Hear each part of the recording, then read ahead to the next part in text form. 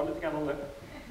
Tack för att du delar med Nu är vi ju lite inne i misslyckanden och en viktig slutsats att dra av det är väl att man måste ha en förmåga att försöka konvertera det till möjligheter.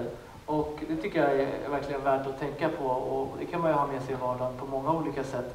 Sen så är väl en annan sak som jag tänker mycket på, just drivkraften. Vad, vad är orsaken? Man vet kanske ibland vad man ska göra och ibland kommer man på hur. Men hela det här varför. Vad är orsaken och vad drivs man av? Vad, vad har ni att säga om det? Susanne, vad, vad är det som liksom pushar dig framåt och, och får dig att vilja göra mer hela tiden? Det är att eh, ja, men vill ändra på saker.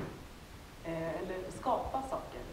Eh, och ja, var kommer det ifrån?